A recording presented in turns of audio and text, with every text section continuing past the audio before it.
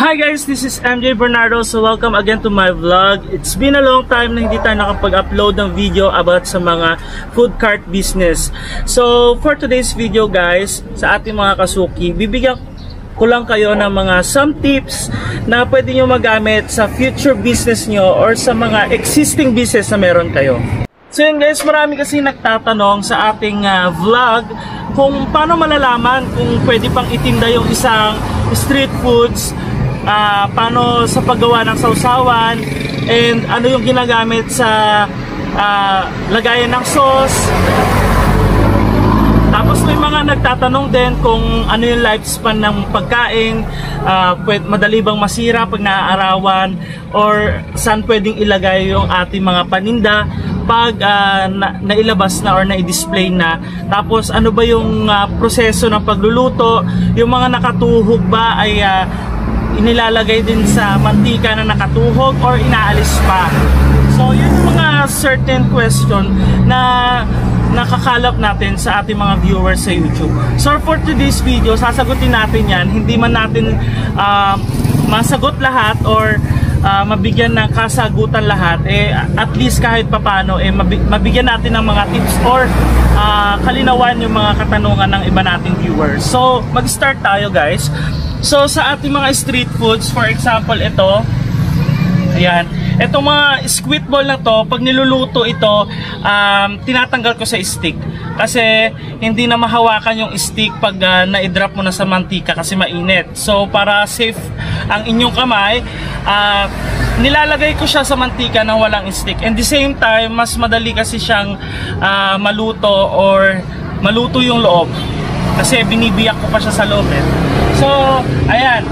Pagdating naman sa mga street food sa atin guys, um, para hindi siya masira, as much as possible, ipaubos nyo siya. Uh, ilalagay nyo yung mga existing na natira dun sa ref o sa freezer para hindi naman uh, madaling masira o yung lifespan ng pagkain ay hindi naman umikli. So for example, na-display ko na siya. Ayan, na-display ko siya. Ayan. Ayan. Lahat yan ay nakatuhog na.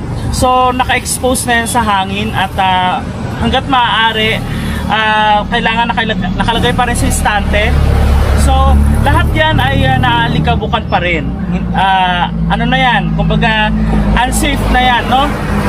Uh, pero, pag may natitira, para kahit papano naman ay uh, tumagal yung lifespan, eh ilagay natin sa refrigerator or sa freezer para talagang hindi naman amagin or uh, mapanis kasi napapanis siya mga yan eh no So isa pang katanungan ng ating mga viewers is yung uh, paano malalaman kung sira na yung mga street foods. Kung makikita nyo ito, itong squid ball na to, uh, kulay puti. So makikita nyo siya pag umabot na siyang 1 to 2 days, naninilaw na yan guys. Or yung texture niya hindi na wet, dry na dry na. Tapos, yung uh, size nung, uh, nung squid ball lumiliit. So, at saka tumitigas. Yun yung mga uh, tips para malaman nyo kung talagang pasira na yung, uh, yung inyong paninda.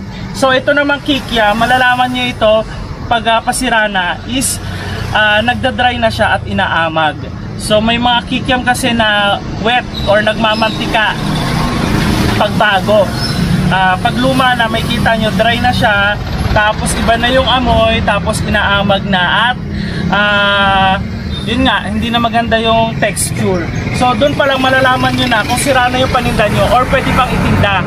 So napakaingay no? Kasi tayo ay nasa tabi ng daanan. So sa fishbowl naman, paano nyo malalaman kung sira na yung uh, fishbowl nyo? Itong fishbowl nyo is uh, wet din siya kung may kita nyo. Ayan oh, may kita nyo yung loob. Ayan. Wala kasi akong tripod so hindi ko may makikita nyo na igaganon nyo. So ibig sabihin nyo, meron pa siyang medyo wet or medyo mamantika pa yung loob. Ibig sabihin nun, uh, bagong gawa pa siya ng factory. Pero pag binili nyo siya sa market, medyo malagkit na or medyo dry na yung loob, uh, medyo dikit-dikit na, ibig sabihin nun, hindi na fresh, ibig sabihin nun, ilang araw na rin sa market yon So, as much as possible, ipaubos nyo na rin yun pag binili nyo. And the same time, malalaman nyo ang fishball pag fresh pa, ibig sabihin nun, uh, kulay white pa yung fishball. Pag nakita nyo na ninilaw na yung fishball, ibig sabihin nun, uh, pasira na yon um, critical na yon na ibenta. So, uh, doon naman sa mga siomay, sa mga hotdog, yung hotdog nyo, napakadali nitong masira. Itong hotdog na ganito, napakadali siyang masira kasi pag naarawan, napapanis ka agad. So may kita nyo, ito fresh pa. Bakit? Kasi pulang-pula pa yan. So, ibig sabihin yan, bago. Pero pag nakita nyo na yan na namumuti or uh, iba na yung kulay, ibig sabihin nun, ilang araw na yan sa ref, ilang araw na yun na freezer, uh, tapos ilang araw na rin yan na hindi nabibenta. Yun yung mga tips ko pag bibili kayo ng mga hotdog sa mga uh, street food sa labas. So, sa siomay naman, yung siomay, matagal ang lifespan ng siomay kasi dry siya. Pero, uh, may kita nyo yung siomay or malalasahan nyo pag bago, pag maasim na or iba na yung lasa niya. So, dun, dun malalaman kung sira na yung street foods nyo na kinakain. So, pagdating naman sa mga tokwa, sa mga calamares at saka mga toge, napakadaling malaman yan kung uh, hindi na fresh. Siyempre, yung toge nyo, pag uh, ilang init na yan, so iba na yung texture niya sa loob, madulas na. Tapos yung mga calamares nyo at saka yung tokwa, alam nyo na rin naman yan pag uh, naulit na, matigas na, matigas na yung coated niya. Sa kwek-kwek naman, malalaman yan kung uh, uh, yung ganitong kwek-kwek. Ayan. Ito fresh pa. Bakit? Kasi malambot. Malambot yung coated. Uh, tapos, yung laman niya, yung mismong itlog, eh talagang malambot pa. Pero malalaman yan pag hindi na fresh or um, ilang araw na na hindi na bebenta, ibig sabihin yan, yung kwek-kwek sa loob, yung mismong pugo, matigas na. Kasi ibig sabihin nun, na-ref na, na-freezer na siya, tapos niluto ulit sa mantika, tapos freezer ulit, tapos nilubog ulit sa mantika. Yung pinaka-itlog niya matigas na. Yun yung mga tips ko at uh, para malaman nyo na yung kinakain ng mga customers or yung mga binibenta nyo ay madali nang masira or ilang beses nang naulit. Sa sauce naman, sa sauce is tumatagal yan 1 to 2 days. So, 1 to 2 days, yung ating mga sausawan ay uh, nasisira na rin yan. Mal malalaman nyo yan pag yung uh, sauce nyo ay bagong luto uh, parang amoy alak ayun o, amoy alak pero pag yung sauce nyo ay maasim na or hindi na ganun kaya-aya yung amoy ibig sabihin no, tapos bumubula-bula kung makikita nyo ayan walang bula Ibig sabihin nun, bagong luto. Pag nakikita nyo yung sauce na bumubula-bula na doon sa lalagyanan, ibig sabihin nun, uh, malapit na siyang mapanis. Tapos, uh, ilang araw ba? So, 1 to 2 days lang tinatagal ang sausawan dapat. So, para hindi makontaminate ang ating sausawan, gumagamit tayo ng sauce dispenser na kung saan dito nilalagay ang sausawan tapos binubuhos doon sa mismong baso or sa plate na pinaglalagyan ng pagkain. Hindi tayo gumagamit ng dip sauce kasi doon tayo nagkakaroon ng contaminated sauce na nanggagaling sa bunganga ng iba na may laway na tapos ididip ulit. Yun. Tapos, uh, ano pa ba? Uh, sa pagdating sa sausawan natin, um, ito, pagdating sa sausawan natin, bibigyan ko lang kayo ng tip kung paano gumawa ng sauce. So, yung sauce namin parang adobo. Uh, yung adobo na ibig sabihin nun, may toyo, may suka, may asukal, may um, may asukal, may toyo, may tubig. So, para siyang inadobo yung sausawan namin. So, kayo na bahala kung paano, kung anong gramo, kung ilang uh, ml, kayo kung ilan ang asukal na ilalagay nyo, kayo na ang magtimpla. Pero ang ang tips ko sa inyo, parang adobo yung sauce namin para hindi madaling masira.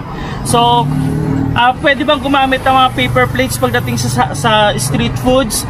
Pwede pwede, pero as much as possible, gumagamit ako ng sauce na plastic cups kasi para hindi natatapon yung sausawan at hindi tumatapon sa sahig para hindi langawin. So pagdating naman sa mantika guys, ang mantika namin tumatagal lang siya ng one day kasi hindi kami nag-uulit ng mantika. Magastos, pero sa mga nag-start, sige gamitin nyo yung mantika nyo 1 to 2 days. Basta malinaw pa.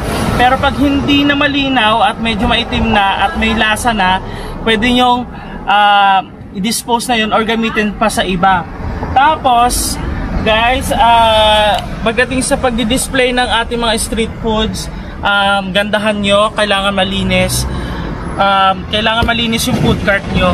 Ayun lang naman yung mga may share ko sa inyo mga tips na tinatanong ng ating mga customers. By the way guys, itong food cart ko na bago, customized to. So, pinagawa ko ito sa aking tatay. Ito ay parang style na jeep, so medyo malaki ang gastos.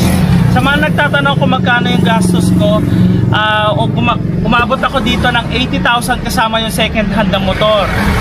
Kasama na yung puhunan at kasama na yung mga estante, yung mga iba pang gamit sa 80,000. Pero kung kayo ay magpapagawa ng food cart at mag-start pa lang, pwedeng pwede na kayo magpagawa ng food cart na D-bike. 15,000 to 20,000 meron na kayong mabibili. Pero yung customized na ganito tulad sa akin medyo mahal. So hindi ko naman uh, pinagmamayabang pero medyo may kamahalan kasi mahal na ang mga uh, bakal ngayon. And the same time, uh, sa mga nag-start ng business, uh, huwag kayong mawala ng pag-asa kasi kami, may struggles din kami na pinagdadaanan. Minsan maulan, may bagyo, minsan walang customers, pero tuloy lang. Uh, basta yung puhunan ay bumabalik, tuloy lang. Minsan walang kita, minsan malaki ang kita, ganun talaga. So pag malaki ang kita, uh, mag-adjust kayo, magtabi kayo, uh, mag-ipon kayo para pag mahina ang kita, may madudukot kayo. Yun lang mga kasuki and I hope na marami kayong natutunan and sorry dahil hindi ako nakakapag-upload ng vlog ko dahil medyo busy. Ngayon lang medyo nabakante at uh, medyo ginanahan ulit ako na mag-vlog kasi may mga uh, kasuki tayo at may mga viewers tayo na nagme-message na bakit hindi na tayo nag-vlog. So, yun guys and I hope uh, mapanood nyo pa yung mga ibang vlog ko para mabigyan kayo ng iba pang mga tips pagdating sa mga business ng food cart. So yun guys, and I hope na subaybayan nyo pa rin ako sa mga susunod ko vlog. So see you to my next vlog guys. See you, bye bye!